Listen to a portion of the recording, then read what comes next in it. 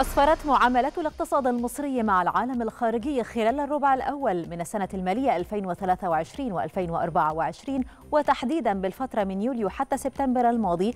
أسفرت عن فائض كلي في ميزان المدفوعات بلغ 228.8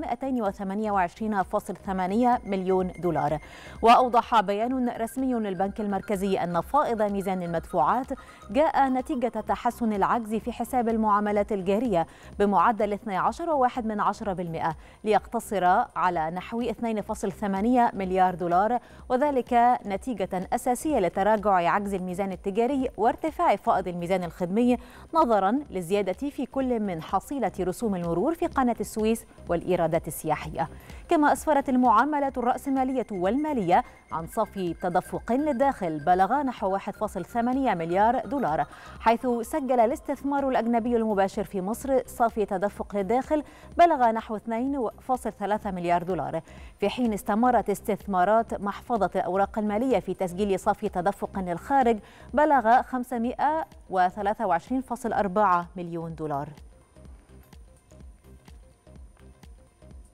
أعلن الجهاز المركزي للتعبئة العامة والإحصاء أن قيمة العجز في الميزان التجاري بلغ 3.15 مليار دولار خلال شهر أكتوبر مقابل 3.78 مليار دولار لنفس الشهر من العام السابق بنسبة انخفاض تقدر ب 16.6% وأشار الجهاز إلى انخفاض قيمة الواردات بنسبة 18% حيث بلغت 6.38 مليار دولار خلال أكتوبر الماضي مقابل 7.78 مليار دولار لنفس الشهر من العام السابق.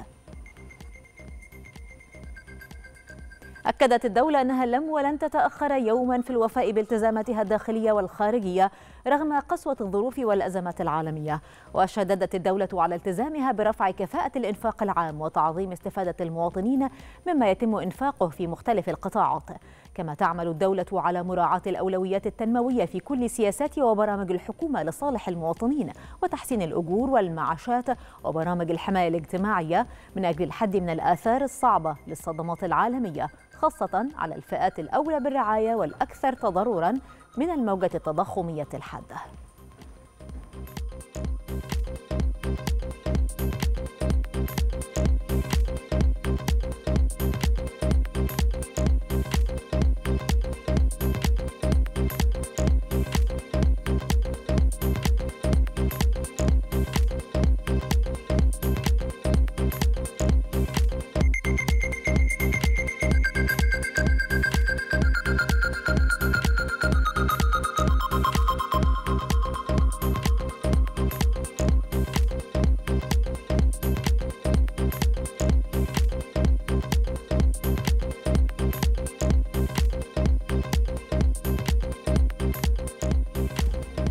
تبذل الدولة جهودا كبيرة من أجل جذب المزيد من الاستثمارات المحلية أو الأجنبية وأطلقت مصر العديد من المبادرات الاستثمارية فضلا عن إصدار قانون الاستثمار رقم 72 لعام 2017 بهدف تسهيل إجراءات الاستثمار وتوفير بيئة استثمارية جاذبة.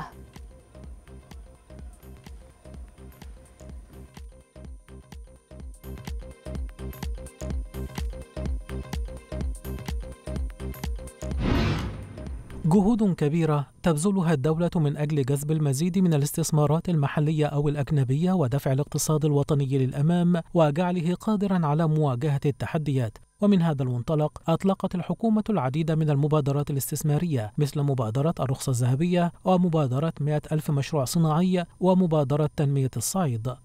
وفي خطوة مهمة من أجل تشجيع الاستثمار خاصة في القطاع الصناعي تم إصدار قانون الاستثمار رقم 72 لسنة 2017 بهدف تسهيل إجراءات الاستثمار وتوفير بيئة استثمارية جاذبة. البورصة المصرية عكست التطورات الجارية بالاقتصاد المصري لتنهي العام الماضي بتحقيق قفزة هائلة وغير مسبوقة لتصل لأرقام تاريخية ومكاسب لم تشهدها منذ 140 عاما. مؤشرات البورصة المصرية استفادت بالعديد من التحركات الحكومية بما في ذلك برنامج الطروحات الحكومية الذي انعكس إيجابيا على سوق المال المحلي.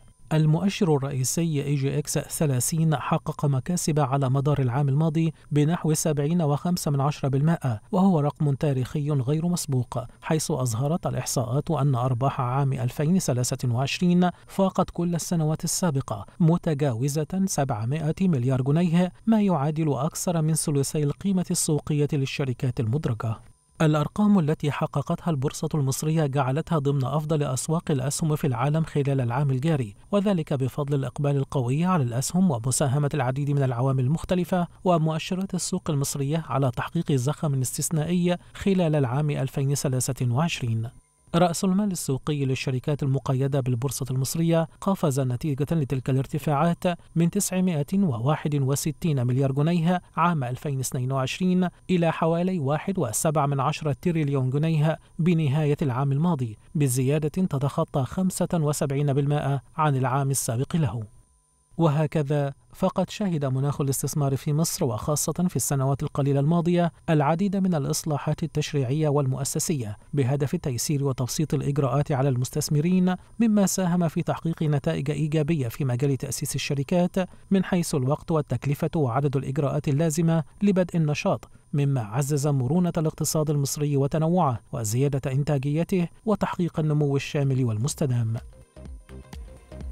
في أسواق البترول العالمية ارتفعت أسعار النفط بعد أن أشار محضر اجتماع البنك المركزي الأمريكي إلى أن التضخم أصبح تحت السيطرة بينما يستعد وزير الخارجية الأمريكي أنتوني بلينكين لجولة بالشرق الأوسط لمنع التصعيد في الصراع بقطاع غزة. وارتفعت العقود الآجلة لمزيك برنت بحوالي 5 من 10% لتبلغ 77 دولار و96 سنت للبرميل كما ارتفعت العقود الآجلة للخام الأمريكي بنحو 7 من 10% لتسجل 2 72 دولار و69 سنت للبرميل. ارتفعت كذلك أسعار المازوت عالميا بنسبة 56 من المئة في المئة لتصل إلى دولارين فاصل 6 سنت للتر بينما انخفضت أسعار الغاز الطبيعي بنسبة 3.9 من عشرة بالمئة لتسجل دولارين و71 سنت لكل مليون وحدة حرارية بريطانية. تسبب إضراب شركة الطيران الإسبانية إيبيريا في يومه الأول في إلغاء حوالي 444 رحلة جوية في الوقت الذي سيستمر الإضراب حوالي أربعة أيام. من جهتها أوضحت صحيفة الدياريو الإسبانية أن الإضراب ألحق الضرر بأكثر من 45 ألف مسافر كما تسبب في خسائر فادحة للشركة الإسبانية.